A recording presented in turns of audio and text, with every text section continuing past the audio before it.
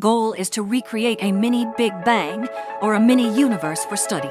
The potential for such Big Bangs, up to 10 times larger than the Milky Way galaxy, sparks worries. Preventing such an occurrence is crucial. Despite CERN's reassurances about the safety of the LHC and its experiments, the possibility of triggering a chain reaction with the Higgs boson persists.